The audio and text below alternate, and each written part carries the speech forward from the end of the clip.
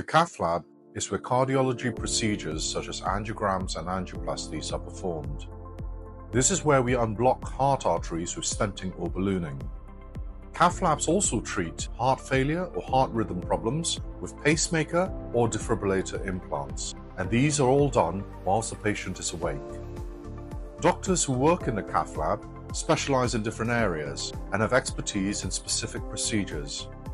Other staff who work in the cath lab include nurses, radiographers to manage the x-ray equipment, and cardiac physiologists who monitor vital signs, ECGs, and log procedures. The cath lab is available 24 hours a day, 365 days a year.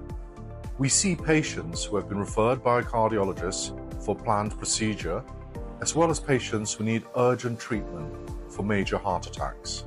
In these cases, the ambulance or emergency department will bring patients directly to the cath lab for emergency treatment.